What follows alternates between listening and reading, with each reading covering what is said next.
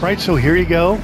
I just paid 100 doubloons for day six and 100 doubloons for day seven, and it unlocks those two days that I missed. I was uh, having a good weekend there, so I didn't play World of Warships Legends over the weekend very much, and yeah, so I missed those two days, and each day was unlocked with 100 uh, doubloons, and you still have to play through these items to do the progression. So the thing is, can I do one single battle and will that count as playing a battle for both of these items at once or do I have to play two separate battles?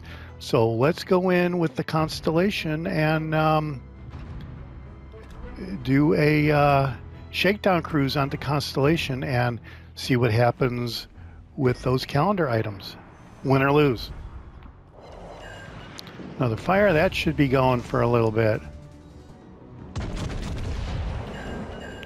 Another fire on the New Jersey. All right, this could be the American version of the Lion. See if we can take out the Colorado.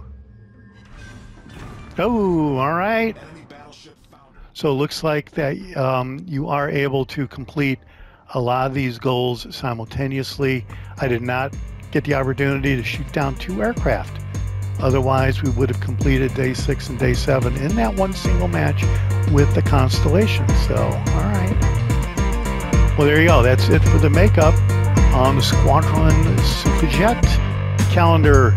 This is the Jaguar, and I'll see you on the high seas. Thanks for watching. Hit subscribe if you like it.